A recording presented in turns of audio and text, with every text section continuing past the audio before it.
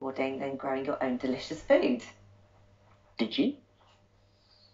Well, I've tried. I've not actually eaten any of it yet. Because your tomatoes weren't a massive success. Tomatoes have already died this year. I went way too early.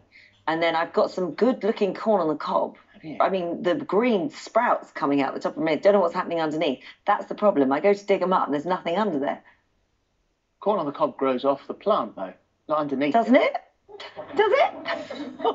looking in the wrong place. It's not. Uh, it's not on the root. The corn is not on the I thought it was a carrot. Don't ask me that. No wonder you're not getting any. You're not digging the plant up.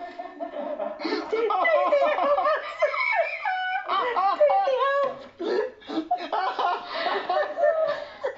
right, okay, Daisy, pick it up. I'm gonna have to come over and help you out, babe. It's gonna have to happen. We're gonna have to do a whole tutorial. uh, well, let me show you how you can grow your own fruit, and then we